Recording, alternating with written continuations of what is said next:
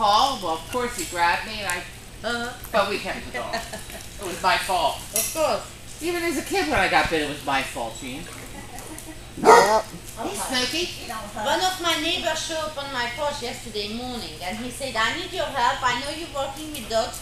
this guy came to into our backyard but we don't know who he is. and he didn't have any plate or whatever, so they they killed him. Oh, But for no, yeah. it was really funny.